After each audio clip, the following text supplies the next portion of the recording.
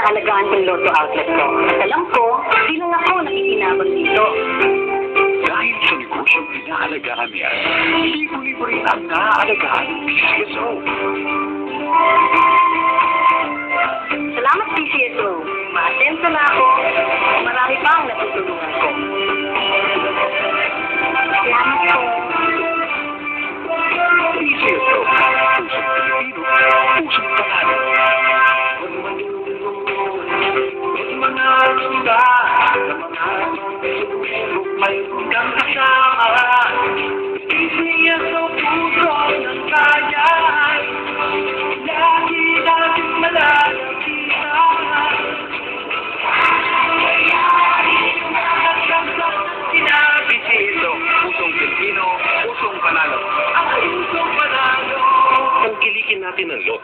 Sweepstakes at Small Town Lottery ng PCSO para buong bayan panalo. Sampung taon ko nang inaalagaan kong Lotto outlet ko. At alam ko, di lang ako nakikinabang dito.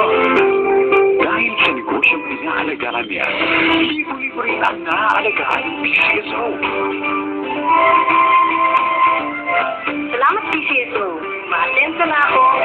Marami pa ang natutulungan ko. Salamat po. PCSO, pusong Pilipino, pusong panalo. On, on, radio, Philippine Network, Radio,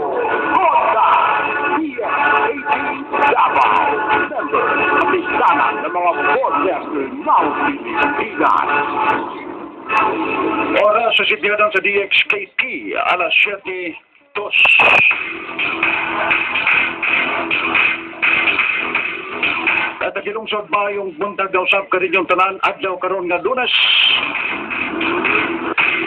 It's a 12 karon sa bulan sa Nobyembre tuig 2012. Adi karon ang pagkatuturin nyo sa 15 minutos na pagpalita sa Newswatch Davao. Kaninyong bus nga lagad sa kagilan Tudong Terin, Lumusbog, May Buntag. Magaunuhang tudling karon sa itong bagabalitang lokal.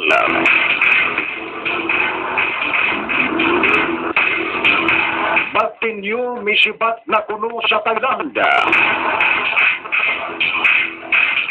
Gipatay sa New People's Army gikaut.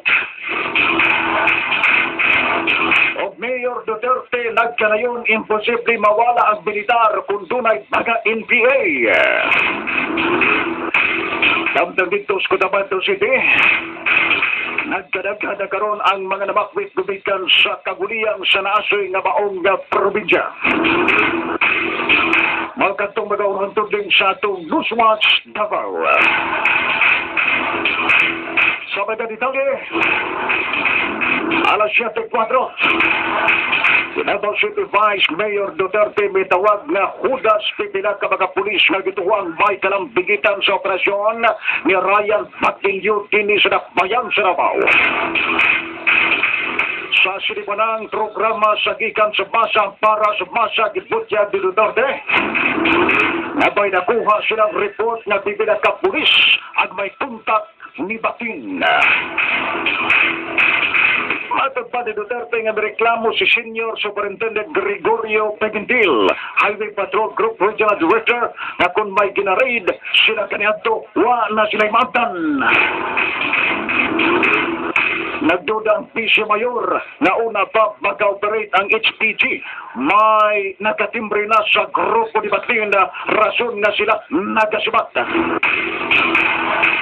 Gikumpirmar sa ni Duterte, nagagawas na giyod sa nasod sa Pilipinas si Batin. Atod sa mayor nga sa ilang pag-verifika ilang nasairan nga samtang nagkagugot at danan sa pagpagita kang Batin misbat kini padung ngadto sa Thailand. Say-say sa Vice Mayor nga subay sa report nga ilang nakuha sa Hulagway, nakuha sa airport na usap ang naong ni Batin. Dugang sa Vice Mayor nga naka-schedule unta sa Batin mabalik din sa nakalabay nga November 6 apan wala kini ikita sa airport. Luyo sa Thailand gibutyag sa ilarang Duterte nga mamahimong baka tabok-tabok og nasod si Batin.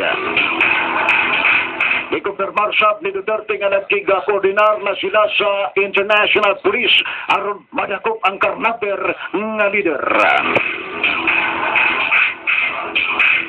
Alas 76. Usa ka lalaki kinsa gipatay sa mga rebuilding New People's Army agikaut sa mga otoridad sa dapit nga gika o gilugna niya ngadtong Sabado sa Buka Bukiran nga bahin sa barangay uh, Sibulan Turil District Syudad sa Davao.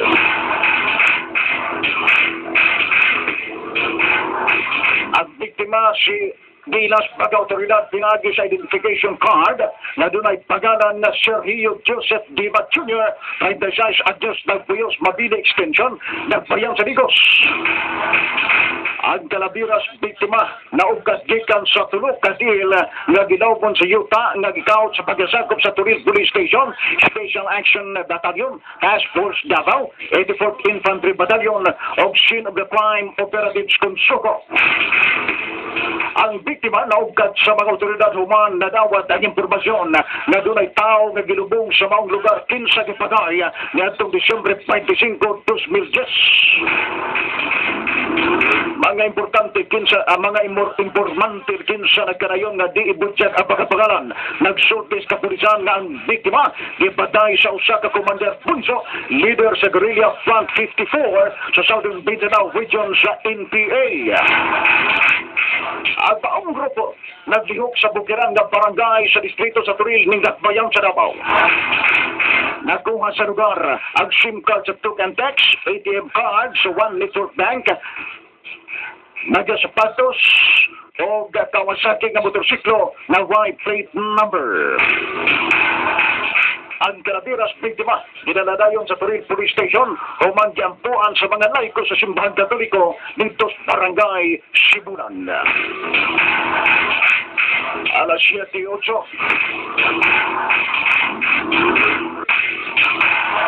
That's impossible.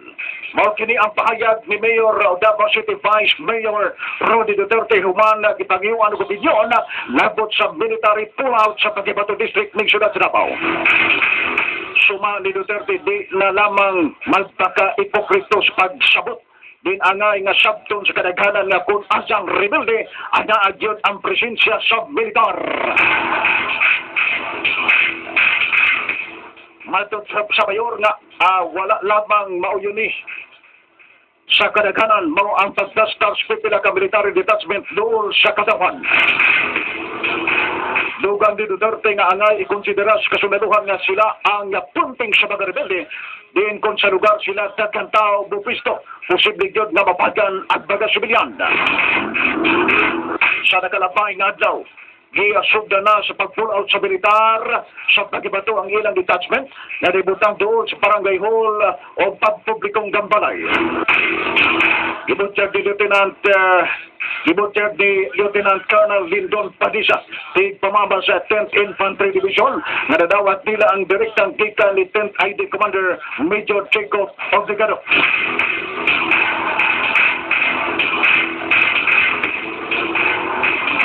Niatil sa pull out ang Peace Development Outreach Program kung PIDOP sa Mount David. Apan gitasalig sa opisyal nga magpadayong gyapo ng ilang kampanya subay sa Peace Development Outreach Program sa Armadong Kusog sa Pilipinas. Alas 7.09 na.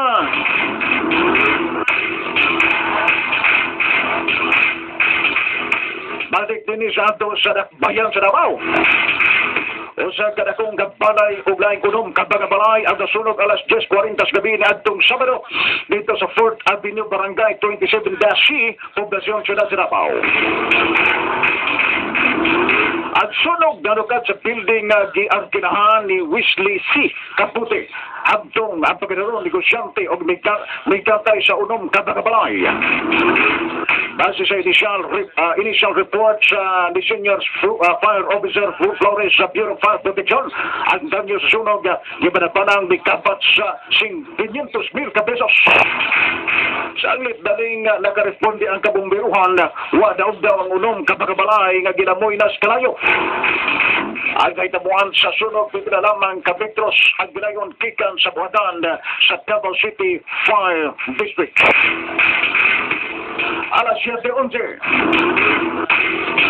Dito sa Cotabato City, mitaas ang ihap karon sa Bagasbidyan na nabagpit sa ilang pirayanan kumikan sa nagpadayong katag-katag na panaging sentro sa duwag ka mga armadong grupo dito sa probinsya sa Maguindanao. The 7th Infantry Battalion sa Philippine Army Commanding Officer Colonel Benjamin Howe na nagsugod ang pagturbos pero sila ay ngadtong Martes milabang Sibana tali sa grupo ni Andy Montawal batok sa magarbadong sakop sa Moro Islamic Liberation Front nagipaguluhan sa usa commander Buto. Sumana Padihaw nga dugay na ang panagdumot sa duha ka pundok gumikan sa panag-ilog sa yuta nga ilang gitugbad og bisangko sa personal nga away sa ilang batag pamilya. Sa Buntawal, nagatubang o nagkaraiyang kaso o dugay nang gipagita sa mga otoridad. Siya mo igsuon ni Dato Buntawal, Municipal Mayor Dato Otto Montawal.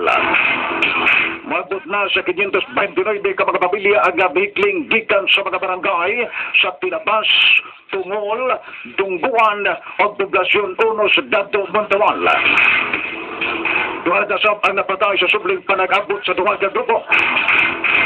Ilang mga nang matay nga sila si Rubayna Hasan.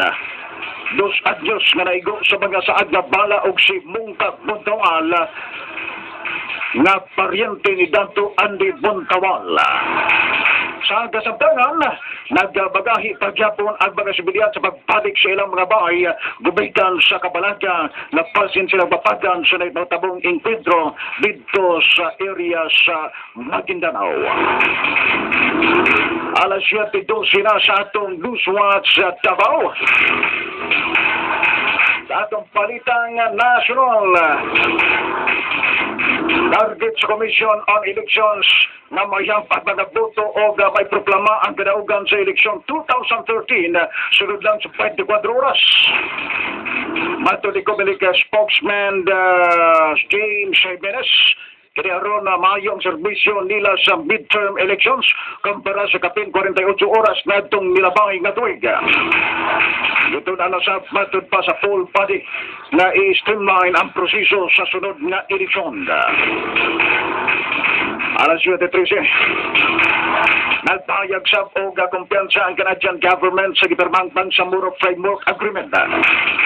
Sigon ni Pagulong Noynoy Aquino sa ilang bilateral meeting, gipabot ni Canadian Prime Minister Stephen Harper ang positibo niyang pananaw sa gipirmahang kasabutan sa Moro Islamic Liberation Front kung MILF.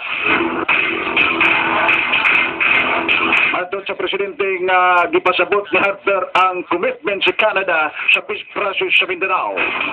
Ang Canada usas sa international community nga nagpata, uh, naggatabang sa pagsulong sa Carinaw o kalambuan dinhi sa riyon. Alas 7.14 og sa katapusan karon sa atong balita sa Kaugat sa Kusog.